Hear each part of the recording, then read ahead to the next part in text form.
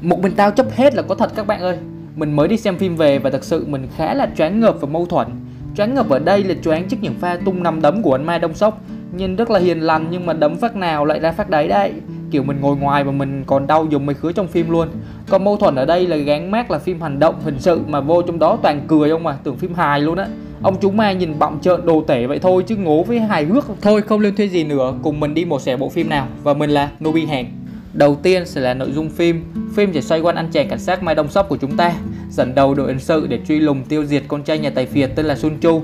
Nhưng lần này không chỉ dừng lại ở trong nước mà đường dây này còn liên kết với các băng đảng Yakuza bên Nhật Bản và báo hiệu một cuộc chiến rất là đẫm máu. Nội dung thì rất là đơn giản và dễ hiểu, không plot twist hay cầu kỳ hay là cài cắm chi tiết ẩn dụ gì hết.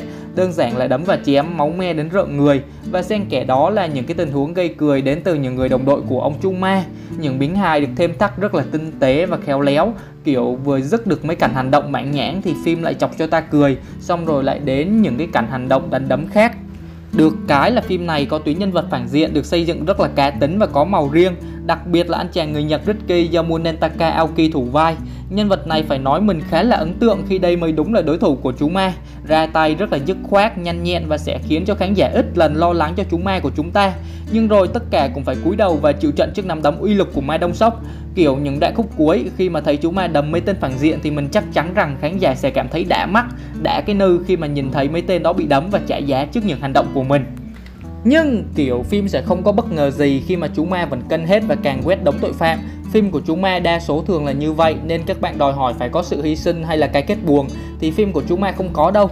Nhưng cho dù khán giả đã biết trước cái kết thì khán giả vẫn sẽ bỏ tiền ra đạp xem phim của Mai Đông Sóc mà thôi.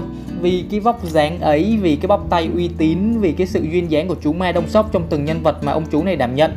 Từ đó tạo thiện cảm và bộ phim này mình tin sẽ được khán giả Việt Nam đón nhận tích cực mà thôi. Họ sẽ không đi xem vì nội dung mà họ sẽ đi xem vì những pha hành động đánh đấm màn nhàng của ông chú ma. Chỉ đơn giản vậy thôi nên đó sẽ là một lưu ý rất nhỏ cho các bạn trước khi có ý định đi xem phim này nhé.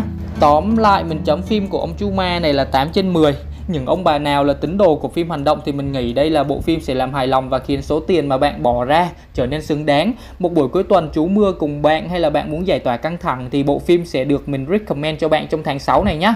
Và mình là Nobi Hàng. See ya!